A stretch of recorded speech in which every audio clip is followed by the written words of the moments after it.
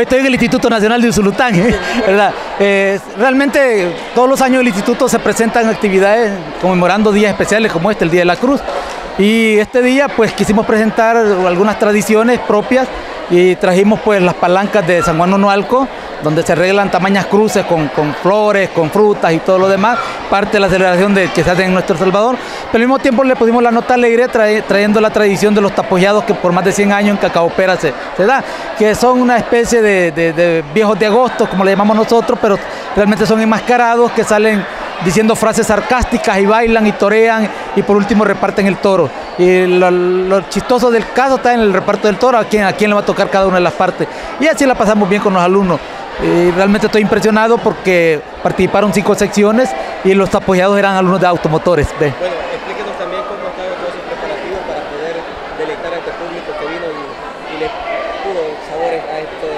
Bueno, primero obviamente preparamos a los alumnos, les decimos en qué consiste lo que se va a presentar, qué es lo que va a hacer cada alumno. Los grados se organizaron, por ejemplo, para hacer las palancas, se organizaron cada grado que tenía que hacer su palanca de, de cruce y, y, conseguir su fruta y ellos mismos las decoraron, que es lo más importante. Y lo otro también, eh, los alumnos de acuicultura y segundo agro se encargaron de llevar la Virgen y hacer todo la cuestión del, ritual religioso.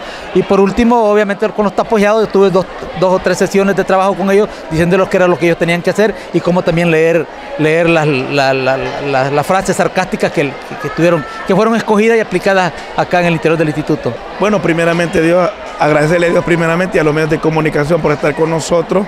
Como ustedes han presenciado, pues la actividad culturales del instituto siempre continúa. Gracias a nuestro director, que él siempre es un pionero en la educación y en la parte artística y en la cultura. En este caso, pues como el 3 de mayo, dándole énfasis primero al poder de Dios, ¿verdad? Y que estamos celebrando este día tan importante como es el Día de la Cruz.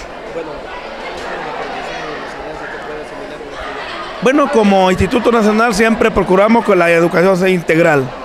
Una persona puede ser muy matemático, pero no tiene cultura, no tiene raíces, no sabe historia, desconoce lo que se está haciendo. Por lo tanto, como maestros, estamos obligados a enseñarle la cultura, el arte y la creatividad en los jóvenes.